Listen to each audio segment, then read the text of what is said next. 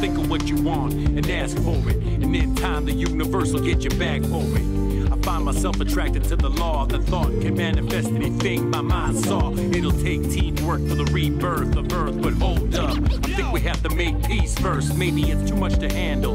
Or you need a sample. Yo, man, just take a look at me. I'm an example.